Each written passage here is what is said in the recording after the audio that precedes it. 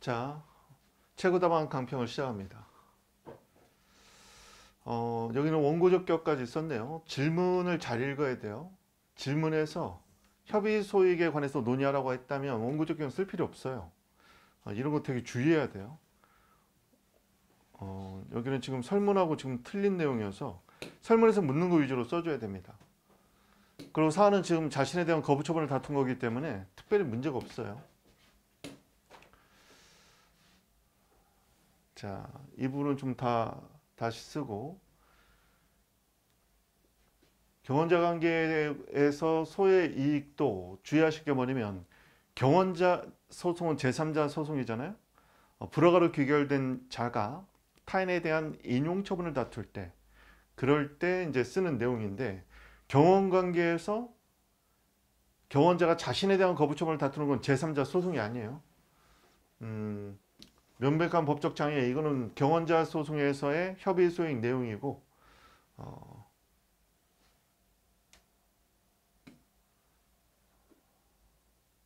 어, 이건 두 개를 같이 이제 몰아써 버렸네요. 기속력에 따라 기속력에 따라 재심사 의무가 있고 그러니까 여기 좀 명확하게 써줬으면 좋겠어요. 경원자 소송에서 불허가로 귀결된 자가 자신에 대한 거부청을 다투는 경우 어, 판례가 지금 두 가지 내용이 좀 약간 짬뽕돼 있는데 틀린 건 아닙니다. 가능성을 처음부터 배, 완전히 배제할 수 없다면 소익이 인정된다. 뭐 결론은 잘 썼어요. 어, 강의 시간에 얘기했던 것처럼 기판력에 의해서 소송의 당사자가 아닌 타인에 대한 인용처분이 직접 취소되지는 않으나 기속력에 의한 재심사 의무로 어, 제3자에 대한 인용처분이 직권 취소되고 새로운 처분이 발령, 발령 될 가능성이 완전히 배제되어 있지 않다면 그런 특별한 사정이 없다면 소익이 인정된다는 겁니다. 그것만 정확히 적어주세요. 사정통지, 거부처분이 사정통지 대상이 되는지 어, 쟁점 이름 아주 잘 썼네요. 어, 이 정도만 써도 글씨 읽는 게 훨씬 수월해졌네요. 어, 좀 이렇게 크게 쓰려고 해주세요. 좋네요. 사정통지에 뭐 이런 것도 간단히 써주면 좋습니다. 다음 예방적 금지 소송은 그렇게 뭐 중요한 내용은 아니죠. 문제점 같은 거를 잘 써주는 건 상당히 좋아요. 자, 현행법상 예방적 금지 소송 같은 경우는 실효적인 권리구제 수단이나 권력분립의 원칙에 따라서 입법화시키지 않은 거죠. 뭐 여기는 그렇게 중요한 내용은 아닙니다. 어, 예외적 긍정서를 취한다면 절충서를 취한다면 사건 성수성하고 보충성에 관한 그 요건을 좀 더 포섭해 주면 좋겠어요. 다음 개발 제한 구역 지정의 법적 성질부터 썼네요. 이제 뭐 이거 써주는 건 상관없습니다. 구역 지정 같은 경우는 도시관리계획에 의해서 이루어지는 구속적 행정계획으로서 처분성 인정된다고 했죠. 건축허가 법적 성질, 예적 승인 어, 일반으로 좀 많이 썼네요. 구별 기준도 쓰고 어, 예적 승인에서의 재량성에 관한 키워드들이 있어요. 그걸 조금 더 써주면 좋겠습니다. 이 조문 써주면 상당히 좋은데 12조 1항 뭐 본문에서는 뭐뭐 관련해서 원칙적 금지하고 조금 더 구체적으로 그렇죠. 조문을 좀 구체적으로 포섭해 주는 게 훨씬 좋은 답안지예요. 그래서 상당히 포섭 같은 것도 잘하고 있네요. 자, 협의의 소액. 일반으로 많이 쓸 필요 없다고 했어요. 소원 사용에서는 보다 실효적인 권리구제 수단이 문제가 될 수 있어요. 어, 타인에 대한 인용 처분을 취소하는 것이 더, 그, 더 실효적이지 않느냐. 자, 경험 관계에서 목차를 이렇게 좀 크게 써주는 거 상당히 의미가 있어요. 너무 도식적인 목차 쓰지 말고 이렇게 구체적 목차 쓰려고 하는 거 상당히 좋은 노력입니다. 경험 관계인지 먼저 포섭을 하고 경험 관계에서 소익인데 어, 기속력이 있다는 재심사 의무. 어, 판례는 이렇게 세 줄 내지는 네 줄 정도 써줘도 좋아요.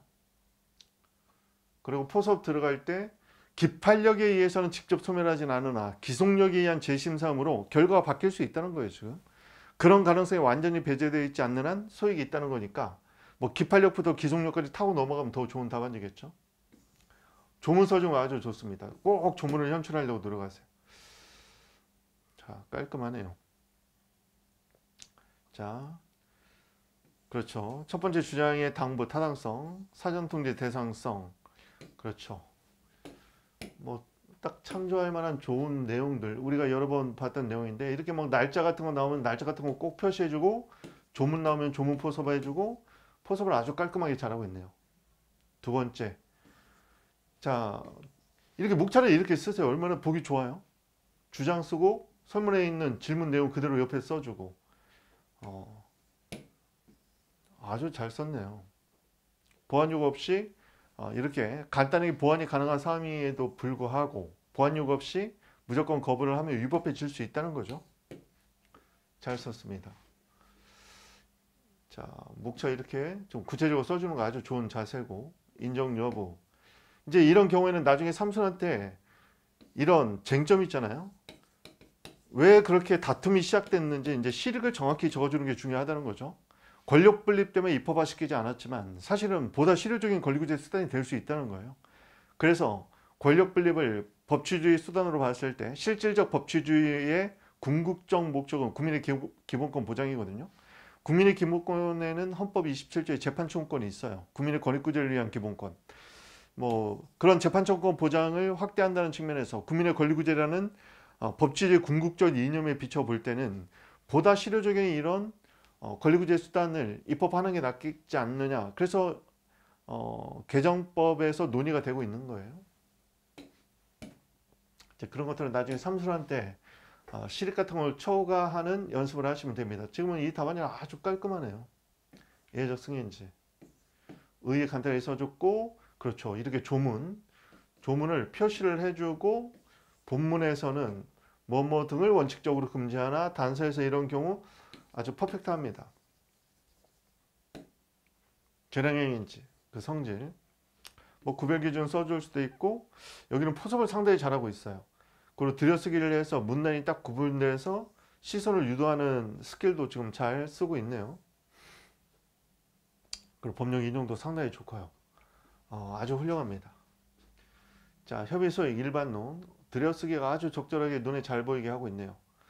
어, 실효적인 권리구제 수단, 경험관계에서 자신에 대한 거부청을 다툴 경험관계인지, 뭐 소액, 어, 판례를 뭐 더 자세히 적어도 좋고, 뭐 이 정도 쓰고 포섭할 때 녹여내는 것도 상관 상관없습니다. 조문이 있을 때는 조문을 항상 꼭 넣어주고요. 어, 뭐 깔끔하게 잘 썼네요. 목차도 눈에 싹 들어오게 해놓고 생각건데 검토 및 소개를 이렇게 긴 거 좋아요. 어, 내용도 이렇게 설문의 내용을 포섭의 삼박자를 갖춰서 하는 훈련 꼭 해주세요. 뭐 나무랄 데가 없는 답안지들이네요, 다. 어. 그러니까 원칙은 이거예요. 조문을 최대한 활용하려고 노력하세요. 그리고 판례를 좀 구체적으로 적으려고 노력하세요. 그리고 포섭할 때 그런 조문과 판례가 어, 해결에 있으면 되는 거예요.